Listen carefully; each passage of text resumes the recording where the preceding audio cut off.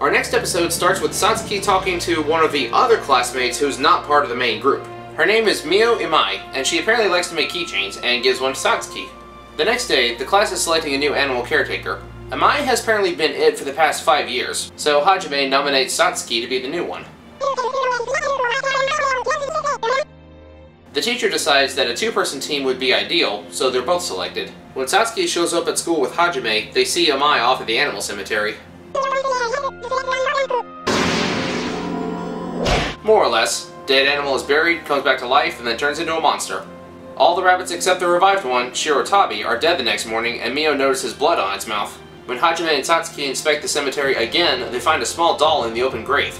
They check the diary and read about a ritual that will revive the dead in a berserker state.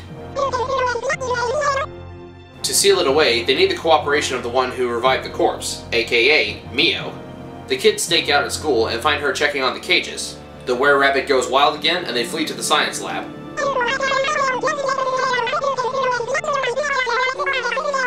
Relatable, but that's no reason to take up necromancy.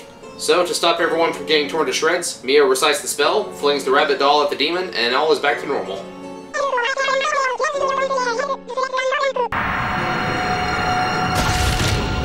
The workers tell us that it was sealed up due to an accident a long time ago where a lot of people died inside the tunnel, so it's haunted.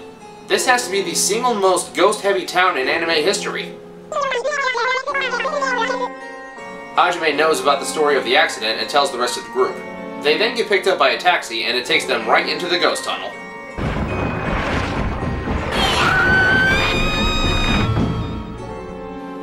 Well, that got dark real quick. The group wakes up and they are separated from each other. Satsuki is with Keiichiro, and for some reason Amano Jaku is there too. She checks the diary, but there's no way recorded to defeat this ghost. All they know is that it's powered by regret and loneliness. Hajime meets up with Leo, while Momoko is left alone at the cemetery. The longer the kids stay there, the more life force is sucked out of them, as they're forced to watch the taxi driver's memories.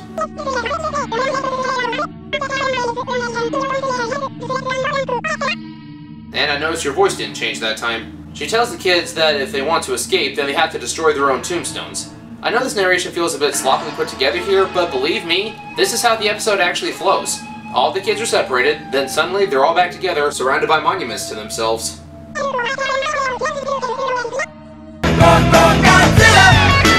They make it back to the other side, but they're not out of danger yet. The ghost driver gives them a lift out of the tunnel, apologizing for putting them through that. On the way down the mountain, they pass his daughter, now grown up. She's heading for the tunnel to leave him flowers and his favorite fruit. That wouldn't have been out yet. This came out in the early 2000s. Yeah, that's more like it. Yep, this is the Killer Doll episode. Keiichiro finds the doll sitting on top of a trash can, but tells him to leave it there. Later that night, she finds it sitting on a cabinet. She cleans the smudge off of its face and then chews Keiichiro out for disobeying her. She tells him to put that thing back where it came from or so help me. Later, Satsuki is awakened by the phone ringing. Hi, Miyanoshita desu. Okay, okay, no more rickrolling this review.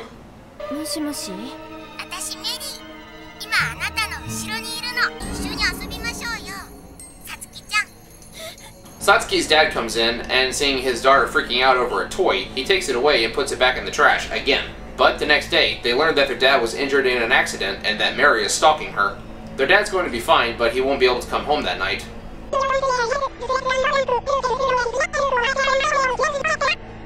So we're about to get a reenactment of Small Soldiers. The doll chases Hajime, Satsuki, and Keiichiro, and just when the ghosts are about to kill Satsuki, her handkerchief falls out of her pocket. Mary sees it, remembers how Satsuki cleaned her that one time, has a change of heart, and lets her go. The next episode starts with Keiichiro in the nurse's office with a stomach ache. He sees a spooky lady with purple lips and a nurse outfit. Leo says that it's probably the cursed nurse from an old rumor, but Satsuki seems adamant that there is no such thing.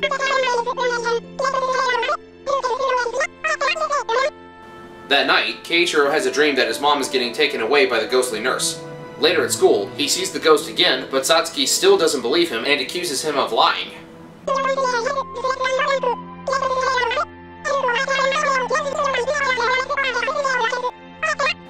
Yeah, she's very dumb.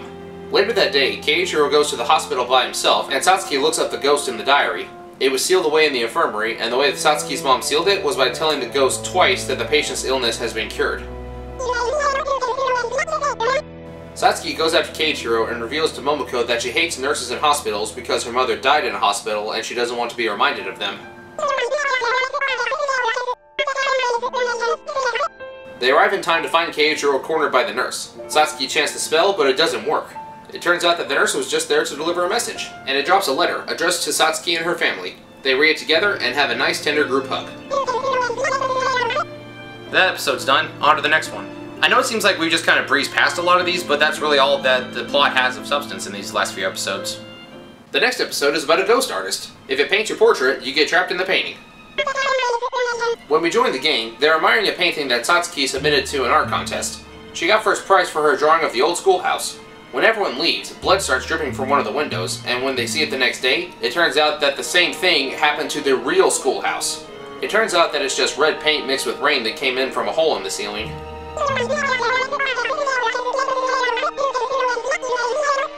Satsuki has invented live streaming through paint. Jaku Jaku shows up to tell them that this is the work of the Da Vinci Ghost, an art teacher who admired the real Da Vinci and committed suicide in the old schoolhouse. According to the diary, Kayako sealed Da Vinci inside a painting of the old schoolhouse and says that if someone were to paint the exact same thing, then Da Vinci would be released?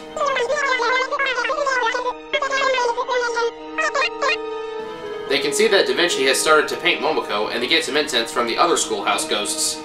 But because the page in the diary is smudged, they can't see the entire sealing ritual, but it's a start. They go after him, and he takes Momoko and retreats inside the painting. Satsuki and Hajime follow them, and they realize that the school looks very pristine. A boy gives Satsuki a gift, mistaking her for someone else. Inside the school, they hear a radio playing announcing a baseball game from 1973. They happen upon Satsuki's mother, Kayako, and they recruit her to help them stop Da Vinci. They corner him, and he tries to escape through Kayako's painting, but because Satsuki's painting was inside the school's incinerator at the time, Da Vinci catches on fire. They perform the spell and put him back to slumber. Before they return to their own time, Satsuki gives the present back to the kid, who happens to be her father from the past. She needed to make sure that he gave it to her mother so she doesn't Marty McFly herself. After that, the diary entry updates itself to include Satsuki in the story.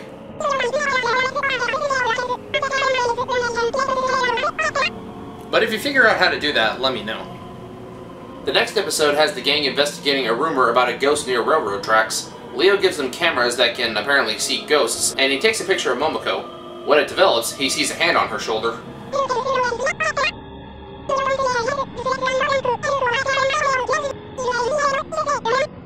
That's a stretch, but we've ripped off everything else, so why not? There's not really a lot to cover in this episode. The ghost is the spirit of a girl who was hit by a car and died near the railroad tracks. She haunts Momoko and causes her to fall ill. She's not at rest because she dropped her engagement ring inside the taxi that hit her, and once the gang returns it to her monument at the crossing, she takes the driver who hit her to the afterlife with her and she's finally at peace.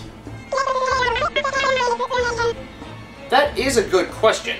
You think that she was a medium or something, but I don't think they ever actually gave a legit reason. If they did, I missed it.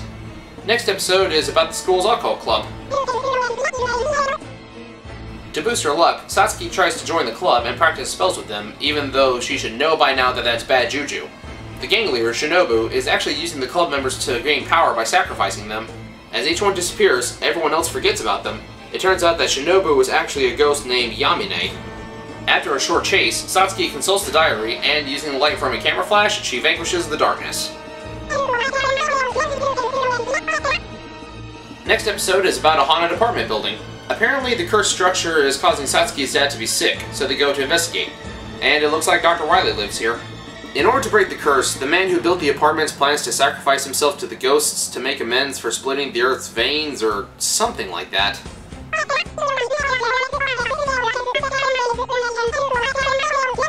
The ghost is called Soma. They do the ritual to seal it, the guy sacrifices himself, the gang escapes, and the building gets demolished. Not a lot scary here unless you're afraid of mannequins. Episode 17 is about a haunted ski resort. The crew meets a girl named Yuki and she tells them that the lake nearby is called Bloodstained Lake. Later, the lake turns red, and she says that it's an omen that her older sister, Miyuki, who drowned years ago, is trying to come back and take someone back with her to the afterlife. They find a picture of who they think was the ghost, and when someone who looks just like her shows up, they try to cast a spell to put her back to sleep. But Hajime found a newspaper article revealing that Yuki is actually the ghost, and they sent her to eternal rest instead. Oh Episode 18 The Curse of the Haunted Broadcasting Room. People who use the radio suddenly fall ill. It's actually Akane, a girl who died in the broadcast room of the old schoolhouse. So now she's cursing the entire school. Basically, it's the radio equivalent of the ring. If you hear the ghost's voice, you die. And they even have her crawl out of the TV, just like the ring.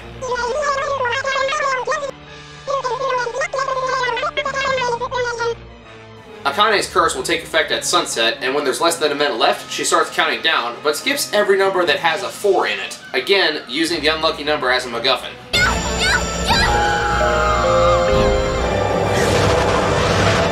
Episode 19, featuring the headless biker we saw in the first episode. Everywhere he goes, disaster strikes, causing people to almost lose their heads. Apparently, if you wear a scarf, the headless biker can't attack you because he can't see your neck. I take back what I said earlier about the lamest technicality being the clock tower. They actually fail to seal the ghost away, so nothing actually gets resolved, just like with Babasare. Alrighty, last episode, here we go. It's almost the second anniversary of Satsuki's mother's passing, as well as the one year anniversary of Kaya, the cat, showing up. Before Jaku Jaku possessed him, of course. When the gang gets to school, they see a strange fog guiding all the students and faculty to the old schoolhouse. The entire school body is hypnotized and they start attacking Satsuki and Keiichiro, and then Babasare shows up again. And so does the ghost hand from the toilet. Amano Jaku warns the team that this is the spirit of vengeance named Oma, and that he's after Satsuki and Keiichiro. The rest of the gang makes it inside, meets up with the siblings, and narrowly dodge a big cluster of ghosts.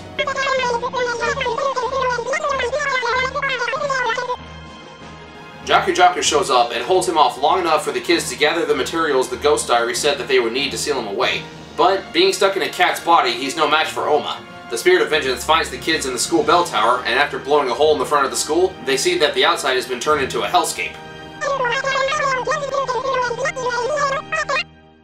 After some encouragement from Kayako's ghost, the gang executes the ritual and Oma is sealed away again, along with all the other ghosts, including Jaku Jaku, and the ground closes back up with some bad CGI effects.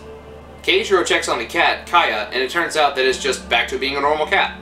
After the incident, it seems that the ghost diary is now blank. The last thing we see is Keiichiro and Satsuki standing under a tree, and they hear Jaku Jaku's laugh. so, yeah, the show is just kind of mediocre on the whole. I can see why not a lot of people talk about the Japanese version. I will admit that there were times when the visuals were kind of creepy and a lot of the setups were cool, but I feel like that there just wasn't enough character progression and a lot of the resolutions ended up being too simple. All of the main cast was super bland. They weren't even really stereotypes outside of Leo being the nerd and Hajime being the pervert. They were so boring as characters that they hardly even have one dimension, more like half a dimension. In addition to that, most of these kids are in 5th grade, and there are a lot of panty shots in this anime. I'm already getting Fate/kaleid liner flashbacks, and I don't like that. Your voice is a little bit different. Is the show still messing with you?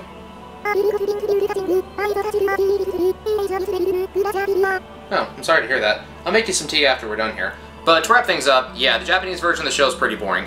And now, on to what I know most of you are here for, the English dub.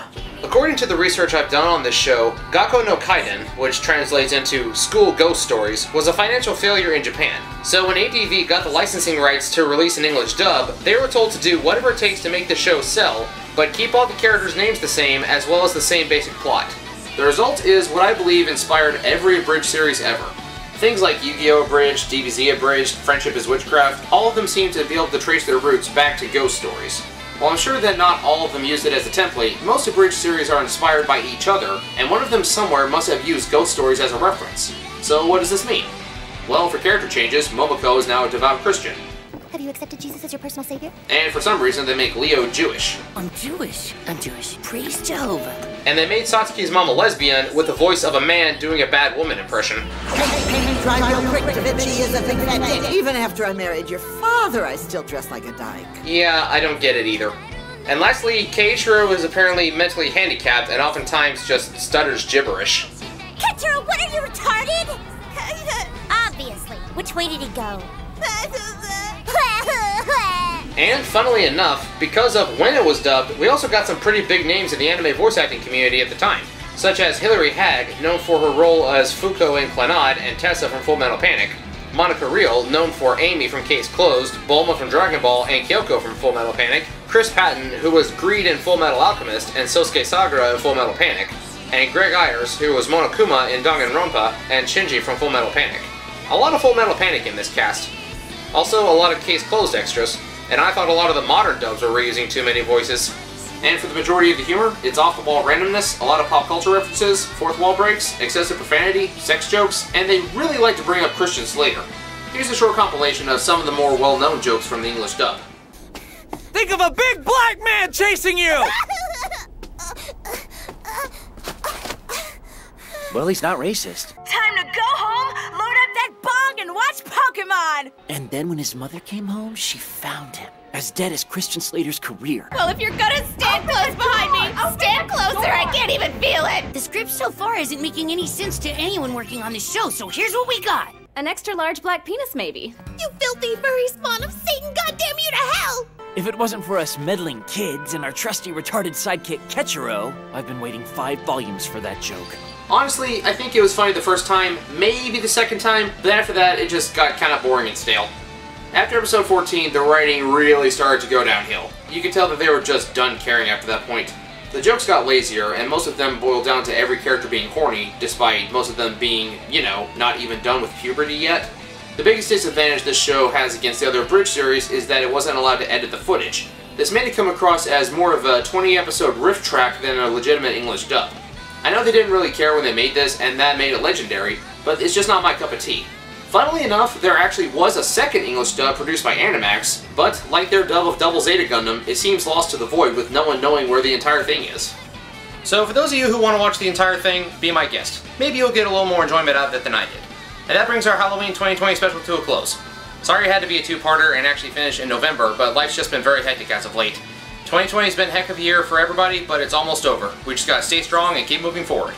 Well, thank you all so much for watching. Hope you had a nice, safe, and happy Halloween, and I'll see you in the next video. Peace out.